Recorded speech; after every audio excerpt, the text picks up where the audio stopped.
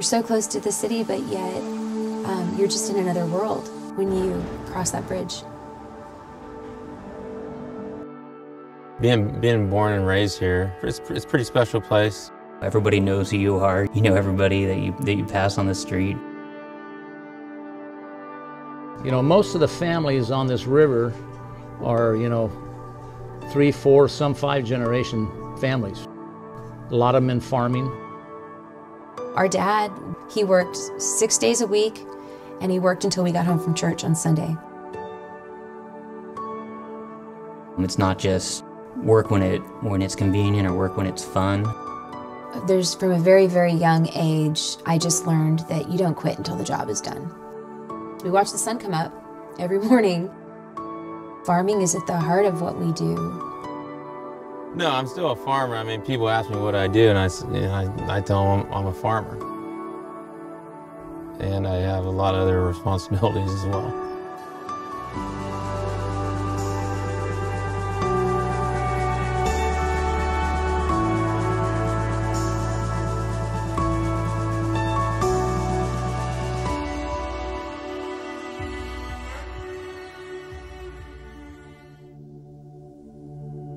I think it's the farm. That's where they're from, that's their DNA. They're rooted to the land, and that's who they are. It's who their parents were. They're not going to give that up. For me, yeah, I just think farmers. You know, these people are from the earth. I'm not saying how old I am You're 40, on camera. Jody's 42. I'm the I'm the oldest. You're only 42, right? Yes, let's let's have some wine. We're gonna talk about how old I am.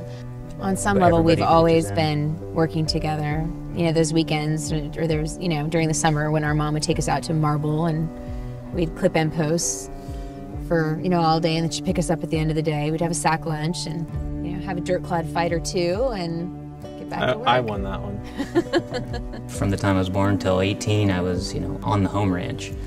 I also know that it was the, you know, the first acreage that my grandfather bought when he got back from uh, back from the war. So I mean, just the history that goes with that as well is just, you know, it, you you feel that. Our family farmed orchards originally, uh, lots of pears and cherries, uh, but lost our land it, during the Depression. My grandfather was a teenager at the time. They actually lost the, the ground that he grew up playing in, the fields his dad farmed, and, and the house that he was likely was born in. My grandpa went, fought in World War II, came back, and was able to purchase our first 10 acres here on Merritt Island, which is the home ranch. It wasn't until 1968 that he planted the first wine grapes here in the Delta, and he did so right on the other side of that barn. And uh, because there were no grapes down here, I think most people thought he was pretty nuts. We had the offices in my grandparents' home. We had a winemaker. We had my dad who's farming, my mom who's doing the books, selling the wine, answering phones. You know, Chris and Patty and the family live right next door. Our sales meetings were on the dining room table. You really felt like one big part of the family.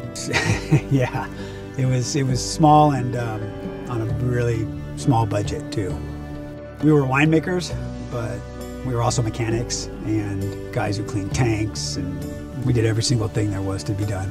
You know, the crusher broke down, we took it apart and rebuilt it. Oh, since they were small, my God. Ryan was this. He had a shovel, and the other kids had something else, but you should have seen when they came out of the field. Oh, sweaty, red, and their parents were trying to teach their kids how to work. But I'm so grateful now for that experience because it taught me what goes into to every bottle of wine.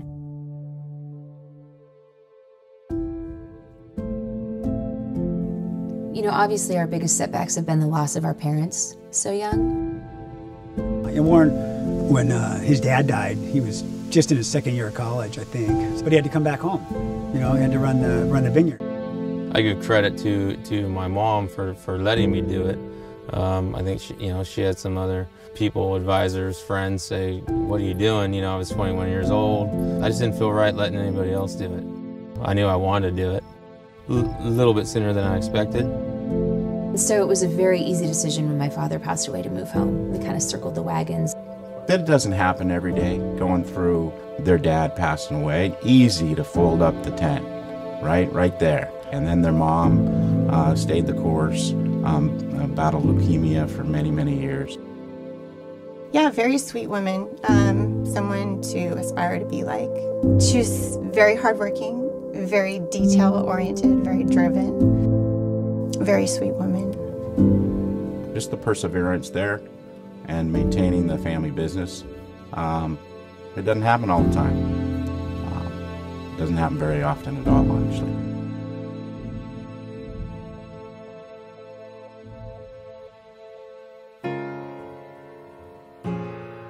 In some regards, it hasn't changed very much at all, and that is the real core commitment to making really good wines that people can enjoy every day. We've been at that sort of mission for a long time, and it really hasn't wavered. I think it gives us a great deal of pride. Bogle Winery in 1992 was the wrong name in the wrong county with the wrong package and the wrong wine in the wrong bottle.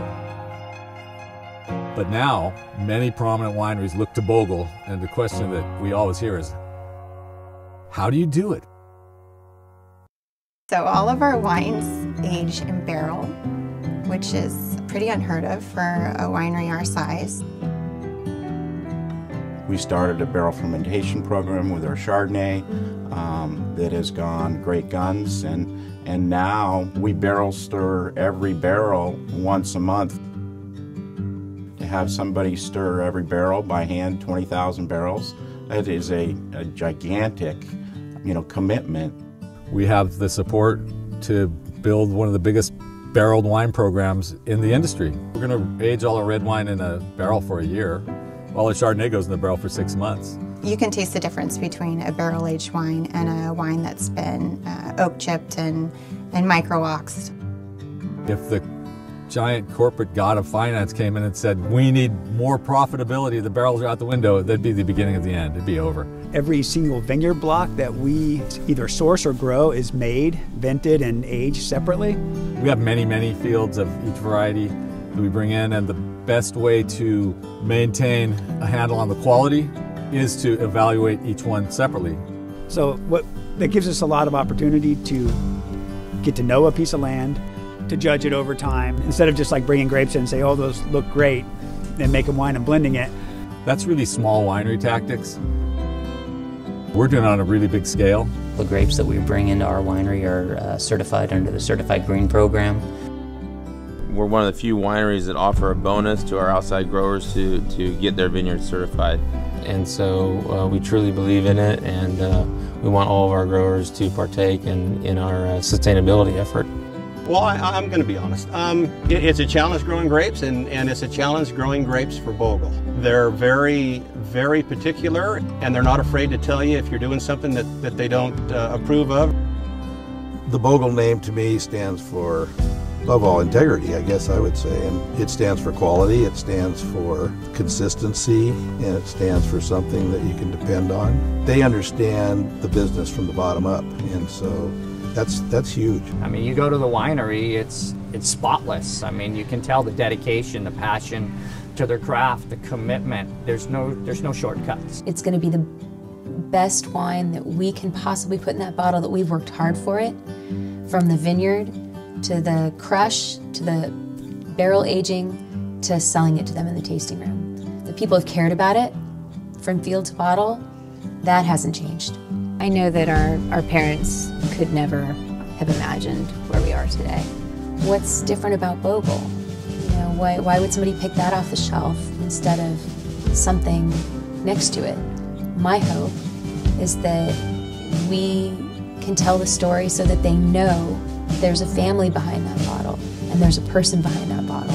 And what went into that bottle wasn't just that vintage, but 40 years of hard work and effort and dedication and love and passion. And that's very important.